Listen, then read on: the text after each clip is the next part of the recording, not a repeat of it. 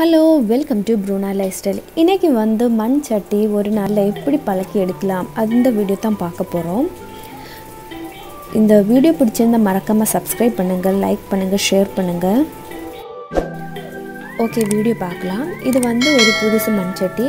இதை வந்து நம்ம ஃபஸ்ட்டு வந்து நார்மல் தண்ணியில் நல்லா வாஷ் பண்ணி எடுத்துக்கணும். சோப் எதுவுமே போடக்கூடாது.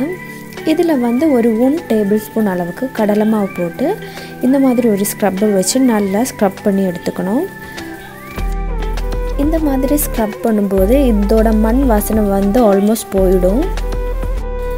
த்ரீ ஃபோர் மினிட்ஸ் இதை வந்து ஸ்க்ரப் பண்ணதுக்கு அப்புறமா வந்து நார்மல் தண்ணியில் நம்ம சோப் எதுவுமே போடாத வாஷ் பண்ணி எடுத்துக்கலாம்.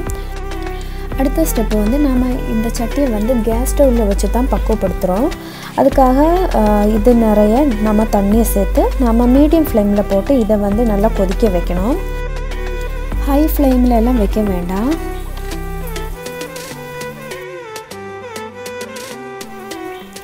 இந்த மாதிரி தண்ணி நிறச்சதுக்கப்புறமா வந்து ஒரு ஃபைவ் டேபிள் ஸ்பூன் அளவுக்கு டீ பவுடர் சேர்த்துக்கலாம். உங்களுக்கு ஏது டீ பவுடர் வேணாலும் எடுத்துக்கலாம். க்ரீன் டீ பவுடரெல்லாம் யூஸ் பண்ண முடியாது. இது வந்து நாம் நைட்டெல்லாம் பண்ணி வச்சோம்னா நெக்ஸ்ட் டே வந்து நமக்கு சட்டி வந்து யூஸ் பண்ணிக்கலாம். நம்ம மீடியம் ஃப்ளேமில் போட்டு தான் இதை வந்து கொதிக்க வைக்கணும்.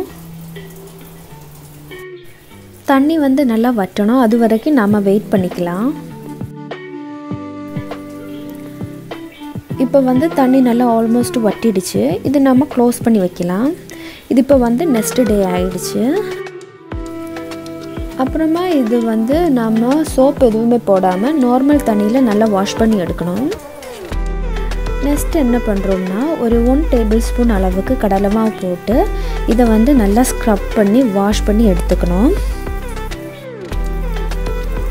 இவ்வளவு தான் இதுக்கப்புறமா வந்து நாம் கொஞ்சம் கோகோனட் ஆயில் போட்டு இதை வந்து கொஞ்சம் நல்லா தடவி எடுத்துக்கலாம்.